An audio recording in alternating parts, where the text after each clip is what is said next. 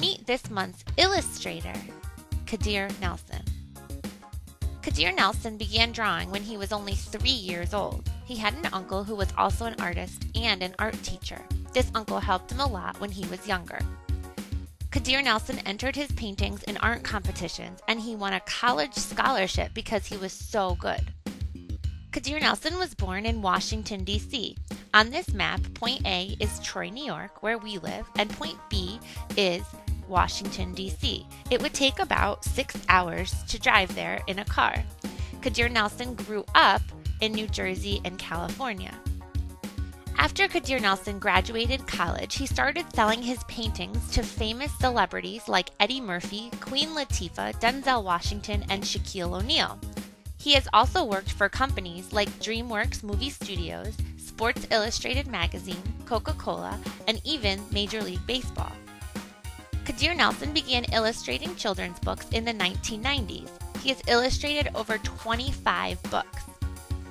Many of the books Kadir Nelson has illustrated were written by other authors. But Kadir Nelson has also started writing his own books. This is one example of a book he wrote and illustrated called We Are the Ship. Kadir Nelson's illustrations have won him a ton of awards.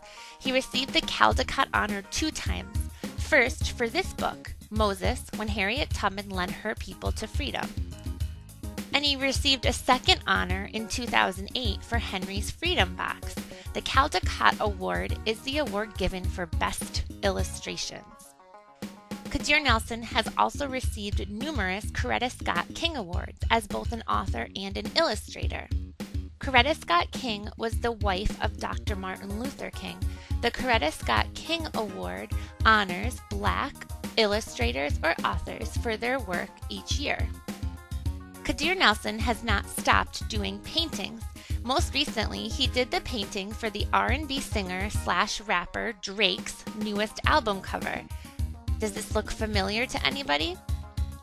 As you've been watching this video, have you noticed any similarities in Kadir Nelson's pictures, illustrations, and paintings? Pay attention to these illustrations and drawings as you read more of Kadir Nelson's work. I hope you enjoyed learning more about illustrator and author Kadir Nelson. This is Mrs. Holmes. Happy reading! As a bonus question, can anybody tell me who this world leader is in one of Kadir Nelson's books?